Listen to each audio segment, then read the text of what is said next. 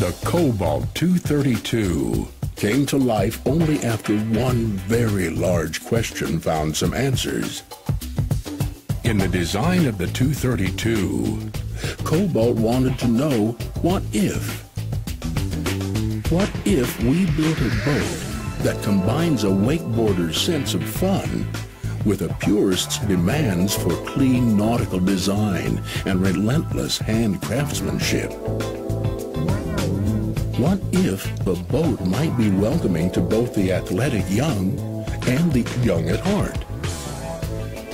What if its amenities might serve everyone?